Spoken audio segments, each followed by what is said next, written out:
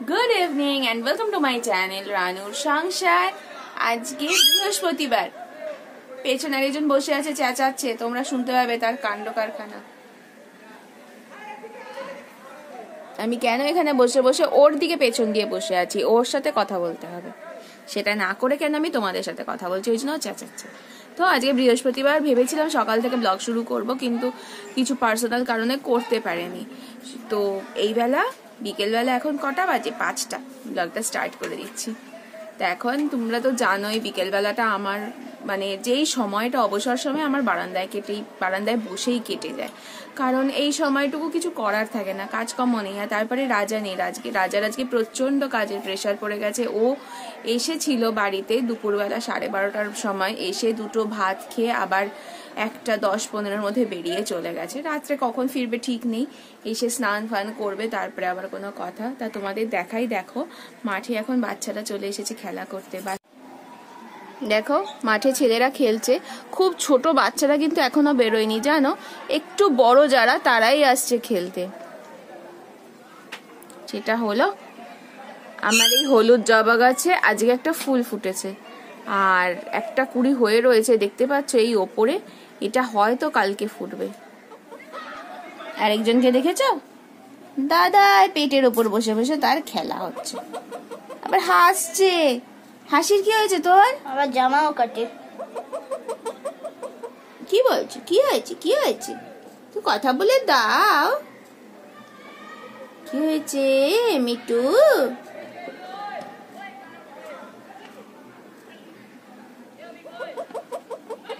তোকে শুধু হাসতে বলা হয়েছে? ওরে বাবারে। আমার ঘরে কম্বল বার করে দিলাম আজকে, দেখছ? পাতলা পাতলা যে, একদম পাতলা যে কম্বলগুলো হয় না, যেগুলো অল্প ঠান্ডায় বা এসিতে গায়ে দেওয়া থাকে, গায়ে দেওয়ার জন্য থাকে, সেই ধরনের কম্বলগুলো আজকে বার করে একটুখানি বাইরে মেলে দিয়েছিলাম।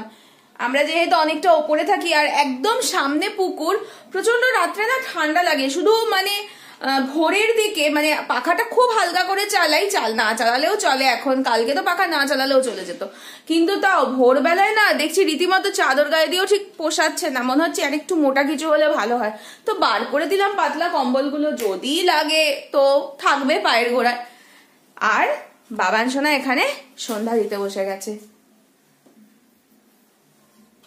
তোমাদের বললাম না, আজকে আমার একটা হলুদ জবা ফুটেছে, এই দেখো, ঘটে দিয়েছি।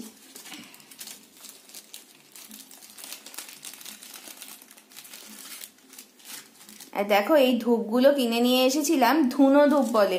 ছোট্ট ছোট্ট প্রচণ্ড সুন্দর গন্ধ হয় আর প্রচুর ধোয়া হয়। বাবান এখন এইগুলো দিয়ে সন্ধ্যা দেবে। দেখো কত সবজি কাটতে নিয়ে বসেছি। কারণ হলো আজকে সকালে সেরকম রান্না খাওয়া কিছু হয়নি। ডাল, আলু ভাজা, ডিম এইসব দিয়ে খাওয়া হয়ে গেছে। তো অনেক দিন ধরে না খানিকটা চাউমিন পড়ে রয়েছে। আর সেই দিনকে বাবানের জন্মদিনে ফ্রাইড রাইস করেছিলাম যে বিনস গাজর খানিকটা ছিল সেগুলোও পড়ে রয়েছে। তো ভাবলাম আজকে রাত্রে ডিনারে তাহলে সুন্দর করে খানিকটা এগ চাউমিন করে ফেলি। তো সেই বিনস গাজর, একটু বাঁধাকপি। এখন তো মোটামুটি শীতের সবজি সবই উঠে গেছে, মোটামুটি পাওয়া যাচ্ছে। শুধু ক্যাপসিকামটাই পাইনি, জানো? আজকে সবজিওয়ালা এসেছিল, দেখলাম, কিন্তু ক্যাপসিকাম ছিল না। যাই হোক, যে কটা জিনিস আছে, সে কটা জিনিস দিয়েই আজকে রাত্রে চাউমিন হবে। এগ চাউমিনই করব। তো এই দেখো বিনস গাজর এখানে কুচিয়ে নিয়েছি, এখানে খানিকটা বাঁধাকপি কুচিয়ে নিয়েছি। আর পেঁয়াজ, রসুন, আদা, এইসব সব টুকটুক করে একদম মিহি করে কুচিয়ে নেব। নিয়ে এখন জোগাড় করে রেখে দেবো। রাত্রিবেলা রাজা এখনও ফেরেনি। রাজা আসলে তারপরে খানিকটা চাউমিন বানাবো।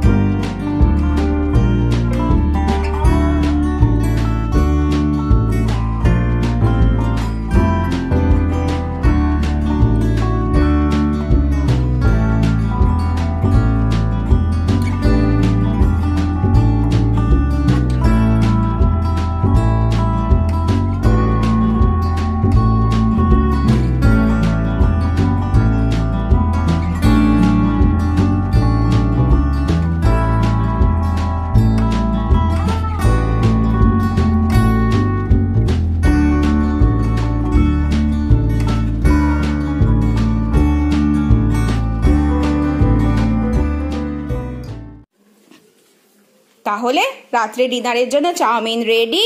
নিয়ে চলে এসেছি আর একজন এই যে। কি নতুন স্টাইল শিখেছে চপস্টিক্স দিয়ে খাওয়া ও চপস্টিক্স দিয়েই খাবে। কেমন হয়েছে খেতে? ভালো হয়েছে। ব্যাস। তাহলে রাত্রের মধ্যে আজকে কাজকর্ম শেষ। আর এখন কটা বাজে? পনেরোটা বাজে। এখন যেহেতু আমরা চাউমিন খাচ্ছি রাত্রে তো আর কেউ কিছু খাবে না। খুব স্বাভাবিক সেটা। আর চাউমিন খানিকটা আছে যদি লাগে কেউ খাবে না হলে ব্যাস ওইটুকুনি থেকে যাবে। আজকের মতো আমি তাহলে এখানেই রেখে দিচ্ছি। গুড নাইট, কালকে দেখা হচ্ছে আবার সকাল সকাল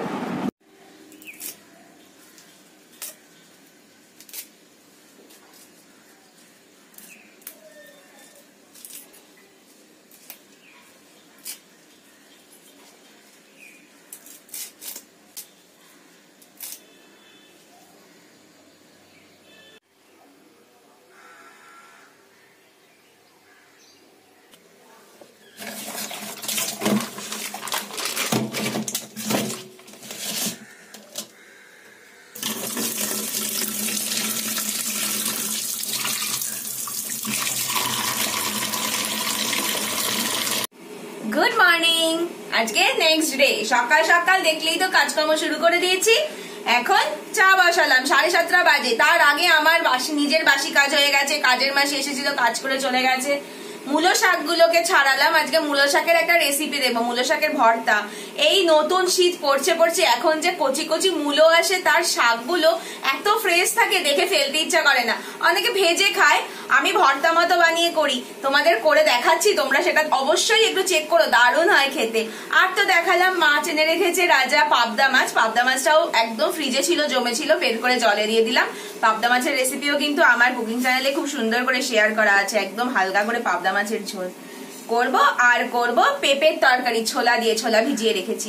আজকের এই মেনু তাহলে আজকে আগে সবার ফার্স্টে এখন চা বসিয়েছি, চাটা খেয়ে এনার্জি নিয়ে তারপরে কাজে লাগবো। তাহলে চলো, আগের কাজটা আগে সেরে ফেলি। তাহলে সব কাজ ঝুঁচিয়ে নিয়েছি, টুকটাক করে এবার রান্নাটা শুরু করে দিয়ে দেখো, পেঁপে, আলু আর ছোলা কুকারের মধ্যে জাস্ট একটা ভাব দিয়ে নামিয়ে রেখে দিলাম। তাড়াতাড়ি হয়ে যাবে আর পেঁপের যে একটা র সেন্ট আছে সেটাও চলে যাবে। তাহলে এবার তরকারিটা করে ফেলি।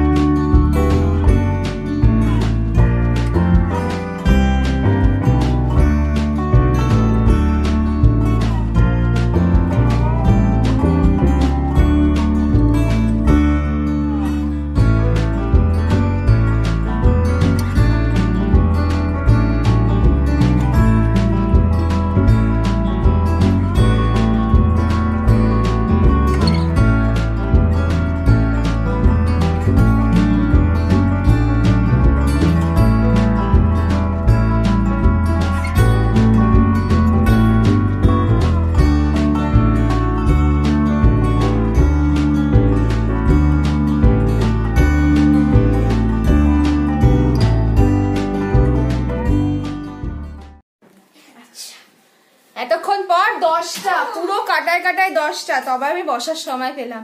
সবাইকে টিফিন দিয়ে দিয়েছি, খাওয়া হয়ে গেছে, রাজা খেয়ে বেরিয়েও গেছে। ওকে টিফিন বক্সে মাছ তুলে দিলাম। ও আমার শাশুড়ি বাড়িতে একটু পৌঁছে দিয়ে আসবে। আমি বসেছি, এবার এই তেলটা মাথায় লাগাবো বলে। তোমাদের বলেছিলাম এই তেলটা বানিয়েছি, সর্ষের তেল, মেথি, কালো জিরে সব দিয়ে। খুব সুন্দর একটা মেথির গন্ধ আসে। আর এটা চুলে এখন মানে সকালবেলা উঠে লাগালে ভালো হয়, সকালে উঠে লাগালে বেশ অনেকক্ষণ থাকে, বেলা বারোটার সময় যখন স্নান করি তখন শ্যাম্পু করে নিই। আজকে না সকালে লাগাবো ভেবেছিলাম, ভুলে গেছি। এখন লাগাই, দু ঘণ্টা তো থাকবে, তারপরে স্নান করব। তাহলে কাজকর্ম রান্না বান্না কমপ্লিট করে রেখে এসেছি, আর চাল ভিজিয়ে দিয়ে এসেছি, ভাত হয়নি এখনও। এবার এই তেলটা মেখে যাব, মিঠুকে পরিষ্কার করে দেবো। মিঠুকে পরিষ্কার করে তারপরে আবার বাদ বাকি রান্নাঘরের কাজ সারবো। রান্নাঘর পরিষ্কার করা হয়ে গেছে। দেখো, তেলটার কালারটা তোমরা দেখতে পারবে কিনা জানি না, দেখাতে পারছি না। কালচে কালচে, যেহেতু কালো জিরে দিয়েছি, কিন্তু গন্ধটা খুব সুন্দর, জানো তো?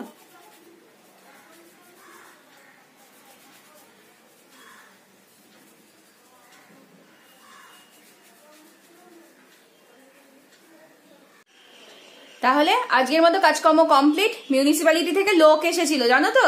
প্রত্যেক মাসেই ওরা আসে কারও জর্জারি আছে কি না কোনো প্রবলেম আছে কিনা, এইসব খবর নিতে। মানে ডেঙ্গুর ব্যাপারে খোঁজ খবর নিতে।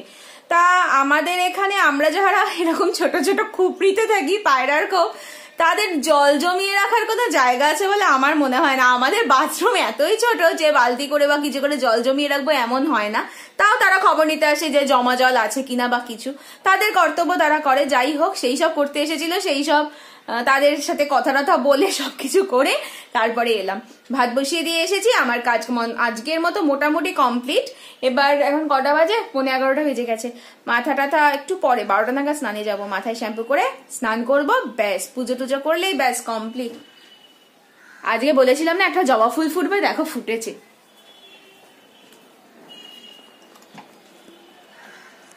দেখতে পাচ্ছ? ওই ওপরে। ওই দিকে বাইরের দিকে মুখ করে রয়েছে। বোঝা যাচ্ছে বলে মনে হয় না। যাই হোক, আমার খাটনি সার্থক। অনেক দিন ধরে সেবা যত্ন করে ওই গাছটায় ফুল এনেছি। তাও অনেক কুড়ি ঝরে যাচ্ছে, জানো তো? সব কুড়ি ফুটছে না। একটু বড় হচ্ছে যে কুড়িগুলো ঝরে পড়ে যাচ্ছে। তাহলে চলো, আজকের মতো কালকে থেকে বকবক শুরু করেছি। আজকে বকবক এখানেই শেষ করে দিচ্ছি। তোমরা সবাই খুব ভালো থাকবে, সাবধানে থাকবে, সুস্থ থাকবে, আমার ব্লগ দেখতে থাকবে। অবশ্যই আমাকে কমেন্টস করে জানাবে কেমন লাগছে। আর যারা আমার চ্যানেলে নতুন বন্ধু, তারা অবশ্যই একটু সাবস্ক্রাইব করে দেবে, সাথে অবশ্যই বেল আইকনটা টিপে দেবে। তাহলে আজকের মতো এখানেই রাখছি, টাটা।